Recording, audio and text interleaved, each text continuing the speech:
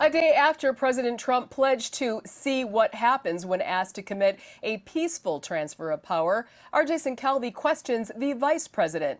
It all comes after a court ruling makes it likely he won't know who wins this key battleground state on election day.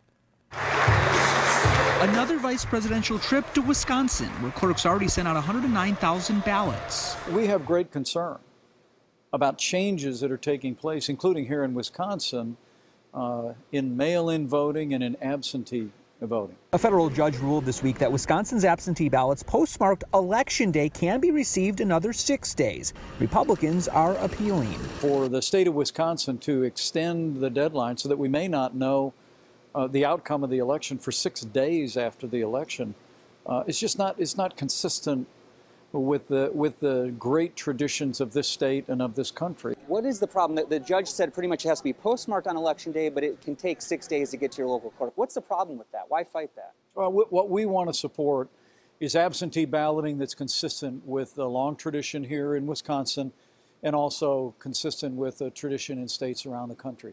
Absentee voting is fine, uh, but the American people deserve to know uh, who is elected president uh, on election day. The Marquette poll finds President Trump the favorite of 58% of those planning to vote on election day, while it finds 68% of those voting absentee favor Joe Biden. So, yes or no, you will accept the election results if they come down the day or the day after election day? President Trump and I will uh, accept the results of a free and fair election. Back in 2016, Hillary Clinton won Eau Claire County 49% to President Donald Trump's 42%. But Democrats have been gaining strength in recent elections. The most recent Supreme Court race, the progressive candidate won 63% of this county. In Eau Claire, Jason Calvi, Fox 6 News.